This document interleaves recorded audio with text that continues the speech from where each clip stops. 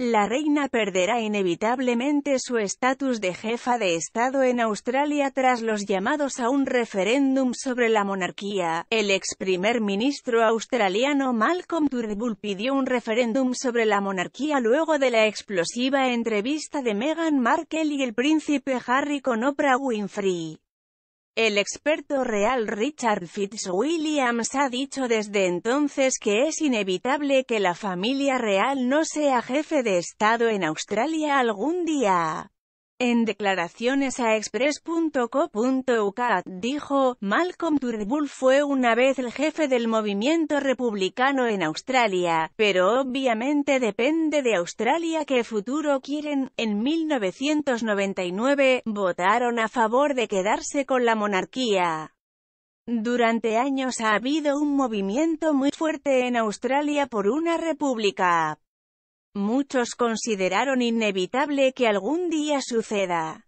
Pero no creo que sea por una sola entrevista, esto debe ser algo que decidirá el pueblo australiano. Turnbull dijo recientemente a BCTV que el jefe de Estado de Austria debería ser un ciudadano australiano, no el rey o la reina del rey. Añadió, claramente es una familia infeliz o al menos Meghan y Harry son infelices.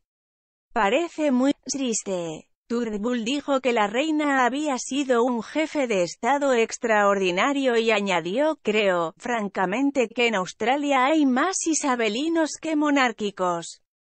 Después del final del reinado de la reina, ese es el momento para que digamos, está bien, hemos superado ese punto de inflexión y realmente queremos tener a quien sea que sea el jefe de Estado, el rey o la reina del Reino Unido, automáticamente nuestro jefe de Estado. Se produce cuando una nueva encuesta de Delta Poll encontró que más de la mitad de los jóvenes de 18 a 24 años quieren que el príncipe Harry sea rey cuando la reina muera ya que él es el futuro monarca preferido.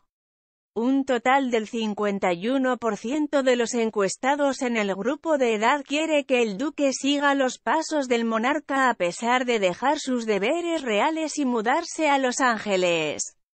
El 47% de los 1.590 adultos encuestados quiere que el príncipe William sea rey sobre el príncipe Carlos. En declaraciones al programa matutino australiano Sunrise, la comentarista real Anna Musson dijo, por supuesto que vas a votar por la persona